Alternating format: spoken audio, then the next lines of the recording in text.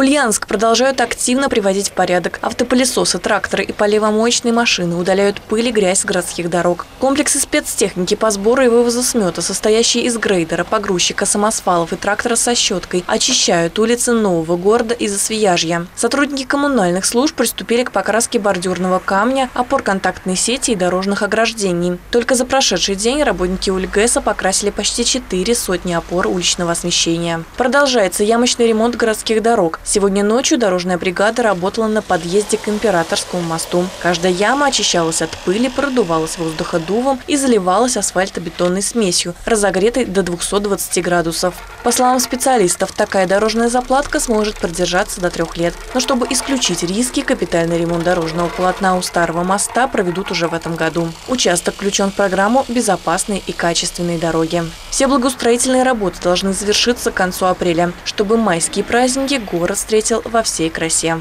Анна Тищенко, новости Ульянской правды.